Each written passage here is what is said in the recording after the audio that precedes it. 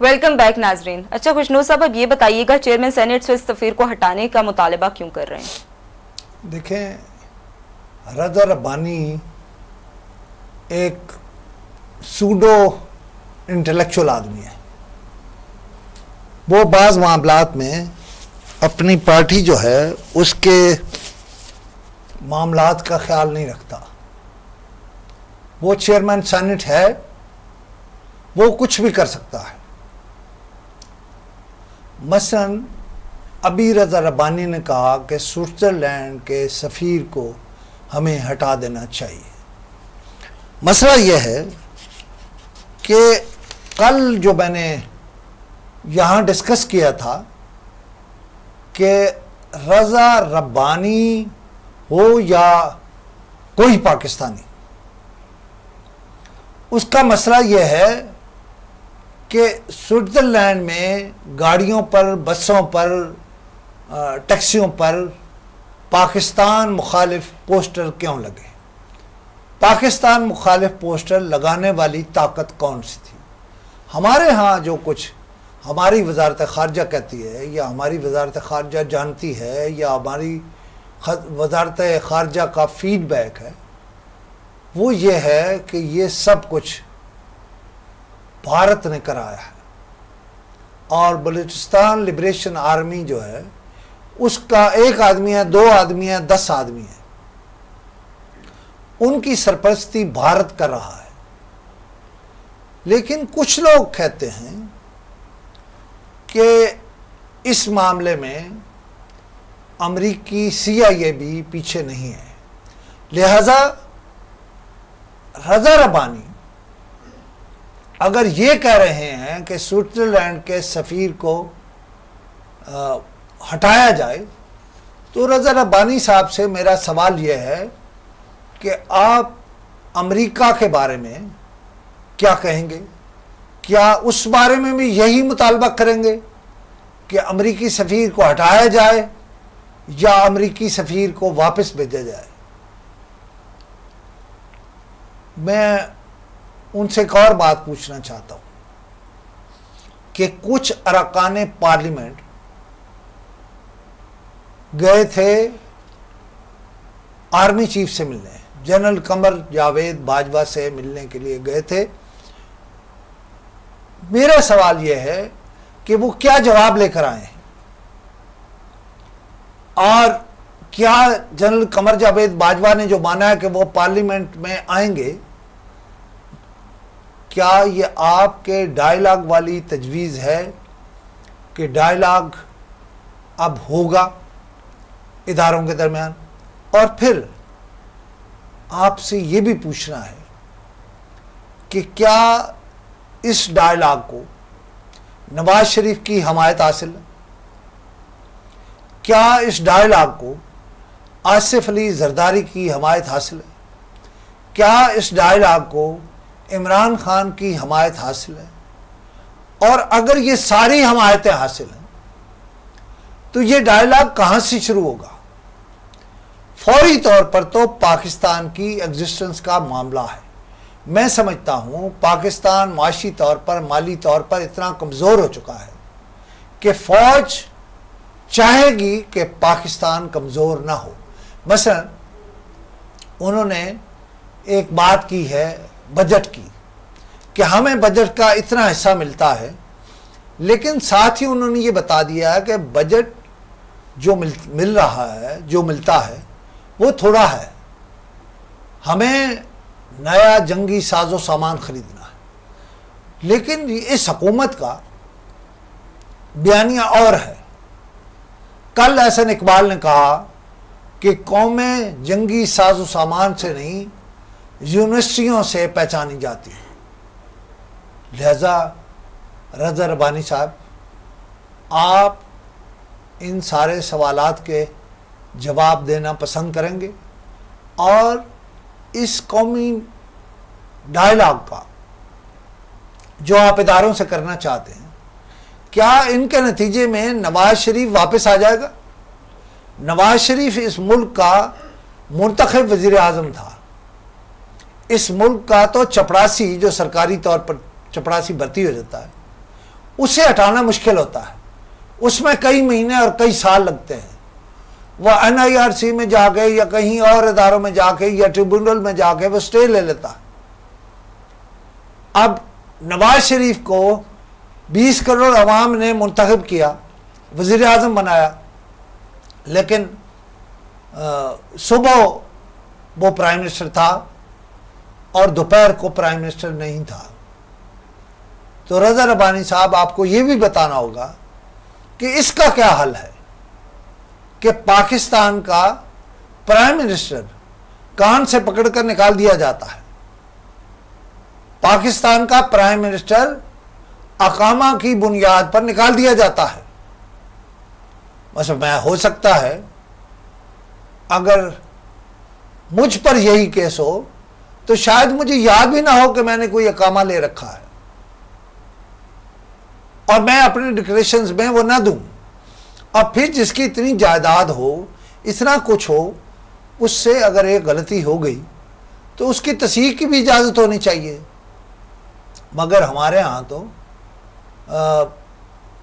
کچھ باتیں طے ہو جاتی ہیں۔ اور پھر وہی ہوتا ہے جو آپ نے دیکھا۔ اب ایک اور بات، پاکستان کے مالی معاملات پر اور معاشی معاملات پر گفتگو کرتے ہوئے۔ سوال یہ ہے، ایک کار کے پلانٹ تھا جو ایک بحری جہاز پر پاکستان آیا تھا یا پاکستان لایا گیا تھا۔ اس پر جو تنازع ہوا، دوسری پارٹی یعنی اس طرف کا ٹھیکیدار چلا گیا بین الاقوامی داروں میں۔ اور وہاں پر اسے ریلیف ملا اور پاکستان کو ڈیڑھ ارب ڈالر کا جرمانہ ہو گیا۔ اب سوال یہ ہے کہ ہم اور بہت سے جرمانے دے رہے ہیں۔ اور یہ بھی ایک سوال ہے کہ ہم روز ترکی ترکی کرتے رہتے ہیں۔ ہم روز طیب اردگان اردگان کی رٹ لگاتے ہیں۔ ہمارے حکمران روزانہ ترکی جاتے ہیں۔ یہ ٹھیک بات ہے کہ ہم نے فیصلہ کیا ہے یعنی پاکستان اور ترکی نے، کہ اس تنازع کو ہم خفیہ رکھیں گے اور خفیہ رکھ کے ہم اس پر کوئی نئی ڈیل کریں گے۔ لیکن سوال یہ ہے کہ کیا پاکستان کو یہ کار کے پلانٹ جو ہے اس طرح کھڑا رکھنا چاہیے تھا؟ کیا اس نے کوئی بجلی پیدا کی؟ کیا ہمارا بحران اتنا شدید تھا کہ کارکے کو لانا ضروری تھا؟ اور اس وقت کے وزیر اعظم سے یہ پوچھا جانا چاہیے کہ حضور آپ نے اس کارکے سے کیا فائدہ لیا؟ آپ نے کارکے کو کیوں بلایا؟ اور اگر تو لوگ مطمئن ہوں، ادارے مطمئن ہوں، تو ٹھیک، ورنہ ایک ریفرنس اور صحیح پھر ایک اور بات بھی کرنی ہے۔ وہ کہتے ہیں کہ ہم نے اپنے بیانیہ پر، جو اس وقت ان کا بیانیہ ہے، اس پر امریکہ کو اعتماد میں لیا ہے۔ میں کہتا ہوں، خواجہ آصف صاحب، آپ کو امریکہ کو اعتماد میں لینے کی کیا ضرورت تھی؟ وہ تو کہتے تھے کہ دہشت گرد آپ کے ہاں چھپے ہوئے ہیں۔ آپ نہیں مانتے تھے۔ آپ کا جواب جو ہوتا تھا وہ لشکر طیبہ اور جیش محمد کے حوالے سے مختلف ہوتا تھا۔ پھر آپ آئے اور آپ نے آتے ہی وہ بیانیاں دینے شروع کر دیا جو امریکہ اور بھارت کا تھا۔ لہذا آپ نے انہیں مطمئن کیا کرنا ہے۔ مطمئن تو پاکستانی قوم کو کرنا ہے کہ وہ آپ کے بیانیے سے مطمئن ہے یا آپ کا بیانیہ پاکستانی قوم مانتی ہے؟ کیا پاکستان کے ادارے آپ کے بیانیہ کے ساتھ ہم رقاب ہیں؟ اگر نہیں ہیں، تو پھر خواجہ صاحب آپ راضی کر لیجیے۔ وہ تو چاہتے ہی یہی تھے۔ میں نے کل بھی یہاں کہا تھا کہ چودھری نثار کہتا ہے، جو کچھ آپ نے کیا ہے یا آپ کا بیانیہ ہے اس بیانیے کے بعد انڈین میڈیا کیا کر رہا ہے، یہ دکھنے کی ضرورت ہے۔ پھر آپ کو پتہ لگے گا کہ آپ کہاں کھڑے ہیں اور انڈین میڈیا آپ کے ساتھ کس طرح سے کھیلا۔ ہے یہ بات یاد رکھیے مساد سی آئی اے اور بھارت کی ایجنسیاں سب ایک ویو لینتھ پر ہیں اور ہم جو ہیں وہ سب ان کے مشترکہ سمجھ لیں مد مقابل ہیں، یا وہ ساری ایجنسیاں ہمارے خلاف کام کرتی ہیں، ہماری سوچ کے خلاف کام کرتی ہیں۔ لہذا خواجہ صاحب، مجھے آپ کی بات سے اتفاق نہیں ہے۔ آپ کو امریکہ کو کچھ زیادہ مطمئن کرنے کی ضرورت نہیں تھی۔ ایک ایسے ہی چھوٹی سی خبر ہے کہ وفاقی حکومت نے ملک میں پانچ ٹیکنالوجی یونیورسٹیاں قائم کرنے کا فیصلہ کیا ہے۔ میرا سوال بالکل اور ہے وفاقی حکومت سے کہ آپ نے پہلے جن یونیورسٹیوں کی اجازت دی، ان میں سے کتنی ہیں جو ایچ ای سی کے معیار پر پوری اترتی ہیں؟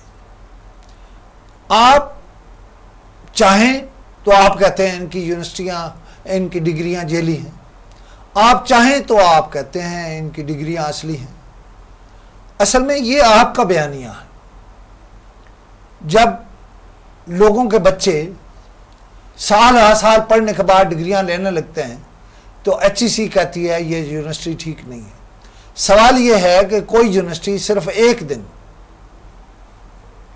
کس طرح سے چلی اگر اسے ایچ ای سی کی حمایت حاصل نہیں تھی؟ چونکہ یونیورسٹیوں کا ذکر ہو رہا ہے۔ اوپن یونیورسٹی کے vice chancellor doctor Shahid Siddiqui نے کہا ہے کہ قبائلی اور بلوچ طلباء کو ہم میٹرک تک مفت تعلیم دیں گے اور پھر ہم آن لائن چینی زبان بھی سکھائیں گے۔ یہ بہت اچھا ہے۔ میں بھی چینی زبان سیکھنا چاہتا ہوں۔ وہاں چین چین چون کرتا رہوں گا ادھر۔ دیکھتا رہوں گا۔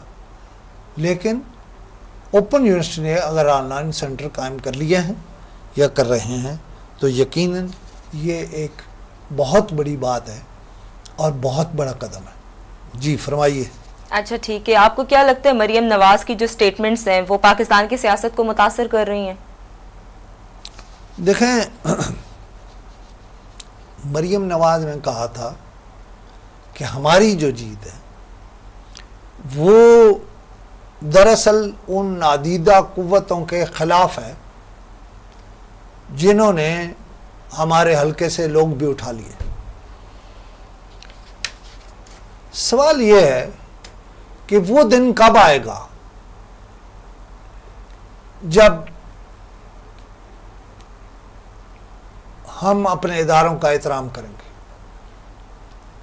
جب ہم اپنے اداروں کا دل سے احترام کریں گے۔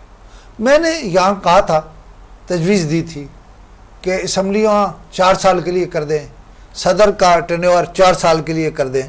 اور یہ بھی کہا تھا کہ جنرل قمر جاوید باجوہ کو جب وہ ریٹائر ہوں تو چار سال کے بعد ابھی انہیں بتا دیا جائے کہ آپ ملک کے آئندہ صدر ہوں گے۔ کم از کم فوج کا اقتدار میں شریک ہونا یقینی بنا دیا جائے۔ دیکھیں ایک بندہ چار سال بلا شرکت غیرے بہت قوت والا ہوتا ہے اور پھر اچانک وہ سڑک پر ہوتا ہے۔ اس وقت بہت سارے جھگڑے ہیں۔ اور ان جھگڑوں میں ایک جھگڑا یہ ہے کہ مجھے یہ بتایا گیا، بہت سارے لوگوں نے بتایا کہ نئے وزیر اعظم کو بعض قوتوں نے یہ مشورہ دیا کہ وہ نواز شریف کی رٹ اپنی تقریروں میں نہ لگائے انہیں کہا کہ آپ بار بار نواز شریف کا نام نہ لیں۔ کوئی ضروری نہیں کہ آپ اپنی ہر تقریر میں گئے کہ نواز شریف نے یہ فرمایا۔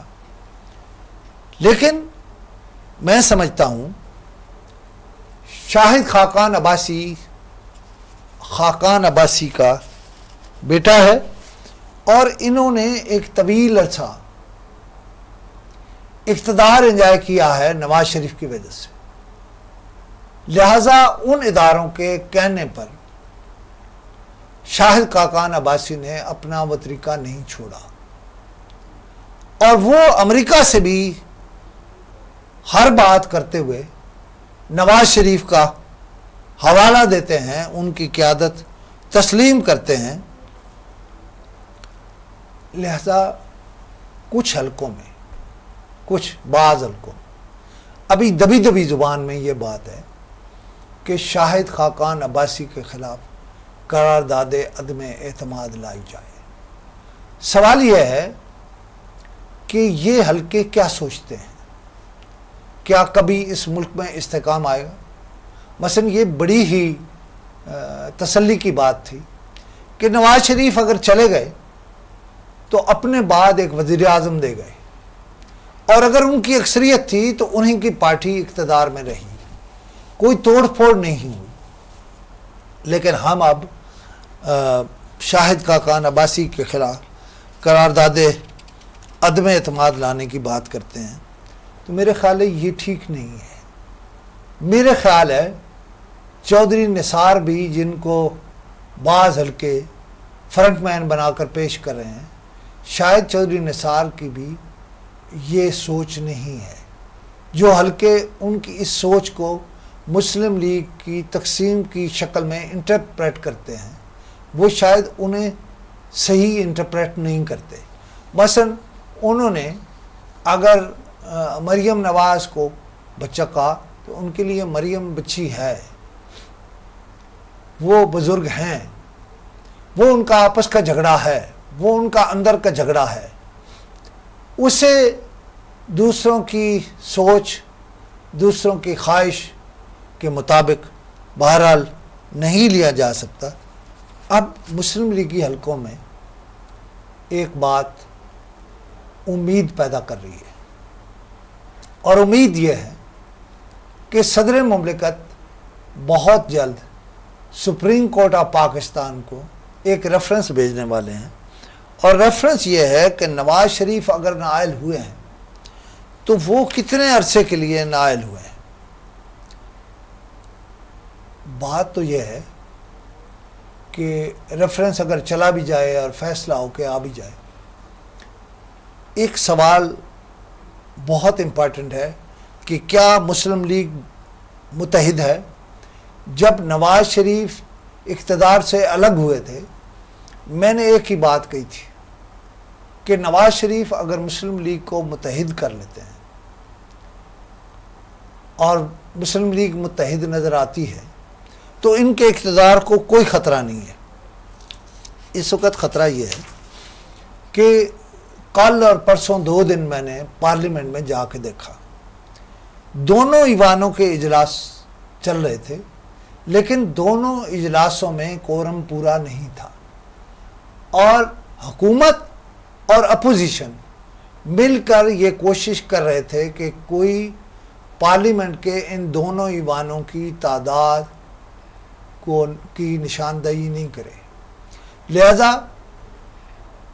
اجلاس چلتا رہا۔ کورم پورا نہیں ہوا اور کسی نے پوائنٹ آؤٹ بھی نہیں کیا کہ بھائی اس کو پوائنٹ آؤٹ کر دے اور کورم نہ رہے۔ سب نے اس میں اپنی بےزتی سمجھی۔ اور